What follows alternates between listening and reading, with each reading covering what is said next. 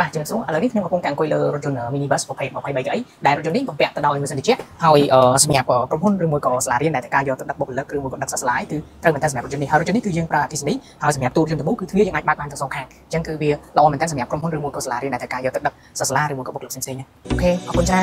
ន